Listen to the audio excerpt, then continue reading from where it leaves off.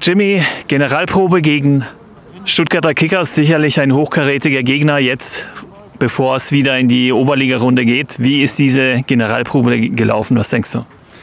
Ähm, die Generalprobe ist eigentlich ganz gut gelaufen. Wir hatten zwar nur 13, 14 Mann. Ähm, das war vielleicht eher nicht so gut, aber weil manche, viele verletzt sind, manche haben noch abgesagt wegen Krankheit und ähm, dafür haben wir die erste Halbzeit richtig gut gespielt, auch äh, mit einer mit einer Startelf, die wir so noch nie hatten.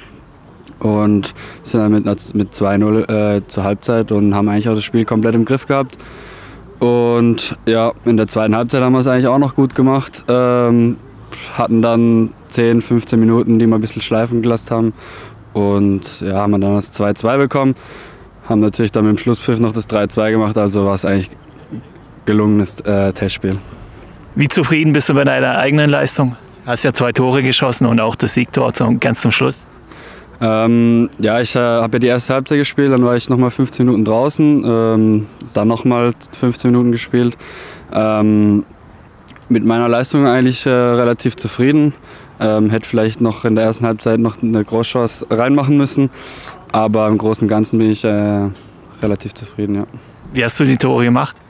Ähm, das erste Tor war, ich bekomme einen Chipball hinter die Kette, nehme ihn einmal an und nehme ihn Wolle mit, mit links. Und das zweite Tor war nach einer Flanke, der Abwehrspieler wehrt ab und dann von 20 Meter direkt einfach abgenommen und Tor. Torwartfehler vielleicht, aber ist mir egal. Ja, was kann man von euch jetzt, ihr habt euch bestimmt einiges vorgenommen, ihr seid jetzt äh, bis auf die Stuttgarter Kickers seid ihr äh, drei Punkte hinter, hinten dran und auf den Spitzenreiter Freiberg sind es vier Punkte, fünfter Platz. Äh, verstärkt habt ihr euch jetzt nicht groß, äh, Eragür ist zurückgekommen. Ja, was denkst du, was kann man jetzt in der Rückrunde erwarten?